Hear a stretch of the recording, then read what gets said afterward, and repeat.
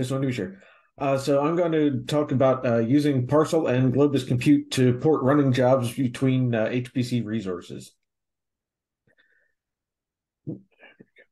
Uh, so imagine you have a really large, long-running job. You know, 150 nodes, 200 nodes, 500 nodes that you need to run for for weeks at a time in order to do the the computations, um, like we do with with SESTI in our simulations. Uh, the odds of getting a single allocation for that is infinitesimally small, uh, just because you know you, you're not the only one using the resources. So it could be you know days or weeks before you can get another allocation to you know march another couple of days through your computation. So it could mean a lot of uh, downtime for uh, what you're trying to uh, to compute. But what if you could take your stop job and transfer it somewhere else to keep it running, then move it back to your preferred HPC resource uh, when you get your next allocation? You can do this now, um, but it takes a, a, decent amount of manual work for you know tra- transferring your files, setting up the environment, potentially compiling code, you know, starting the job, things like that. So to make this easier, we're developing a workflow tool based on Parsl and Globus Compute that will take care of all of the the nitty gritty of the file movement and the environments and the compiling, etc. Um, all you need to do is tell it, you know, where to run the job and what resources you need as far as number of machines, memory, etc. Uh, so how will it work? so the the user will have to set up a few things like a, a Globus Compute endpoint on potential uh, areas where they're going to want to, you know, run this, run their code. Uh, on their home machine, uh, they'll have the, you know, our, our framework running that will allow them to submit the jobs, check the status, stop jobs, and move them, um, things like that. Uh, and while Globus Compute will need to, will be used as the communication infrastructure between you know your machine and the HPC resources where you're running, um, you don't actually need a, a full blown endpoint.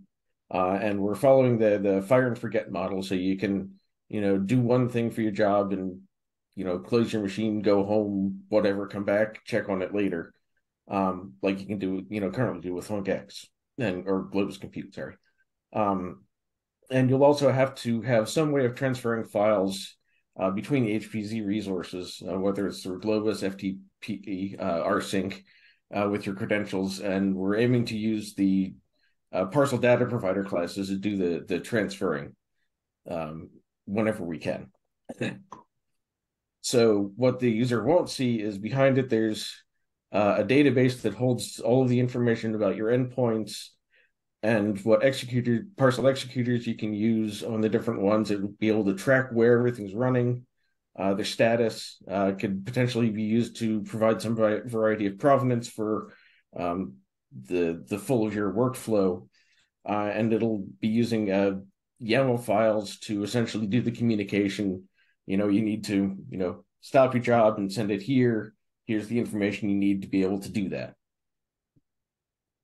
So here's just a, a quick example of um, a workflow. So you've got to get your local machine here, and you're saying, okay, I want to, you know, run this job. So you, you send out a, a request to, uh, you know, the available resources. You prefer this one, uh, but it says it's not available. So oh, I'll start on, you know, start here on this compute resource one, and you get the, you know, you you launch it, you get a, a UUID back, uh, so that you can keep track of it. And periodically you'll just kind of keep querying say okay can i can i move my job yet? No it's still not available. So we'll just keep running on compute one.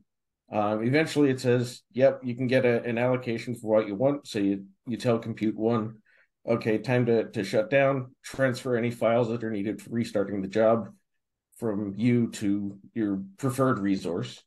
And then once those files are there uh, you launch your job on resource two. And you know you can sit here and you can monitor what you know how it's running. And then eventually the job completes you get your results back or it says that it's done. And then you can uh, get the job status and it's complete and everything is happy. You got your work done uh, faster than you were, you know, you would have if you had to wait for the the, the second compute resource to be available, um, potentially. And uh, so that's the aim of our uh, of our project. And I will take uh, any questions at this point. Thanks.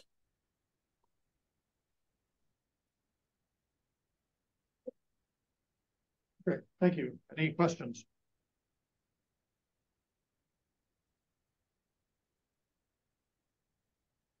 I guess this isn't a question for Doug specifically, but I'm, I'm kind of curious, is this, is something like this something that Argonne would be interested in or supportive of?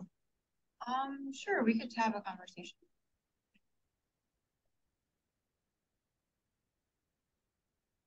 All right.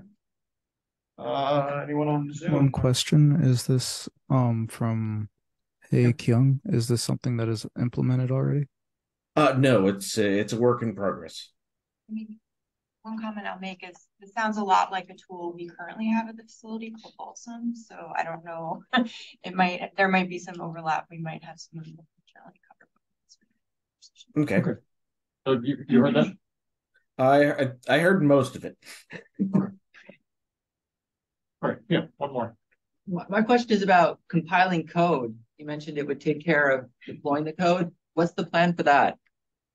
Um, well, that will be kind of user dependent. Um, like with with uh, with Sesti, we have a thing where we just we run a, a command line and it compiles the code under what you need.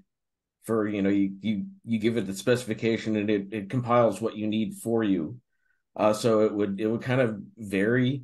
Um, we're aiming to provide you know something where you can say you know you know clone this repo and you know run CMake. We're not not aiming to, to go to go tremendously deep, but be able to provide the infrastructure of okay, yeah, you have to do a build step before you can be before you can run it. You know, here's the the the typical steps you need to do. Thank you. Mhm. Question from Christopher. Do you have any advice about reproducibility?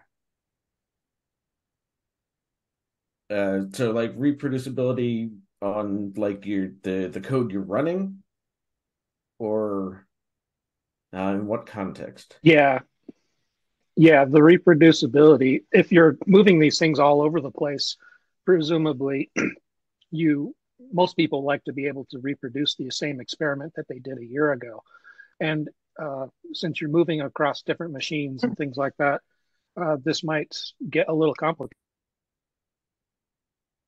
Um, yeah, it it it could. Um, but I would from from my point of view, I would look more at the reproducibility of the results. The, you know, in theory, that the computation you run, you know, here should, you know, within you know, computational errors get this be the same result from you know some other HPC resource.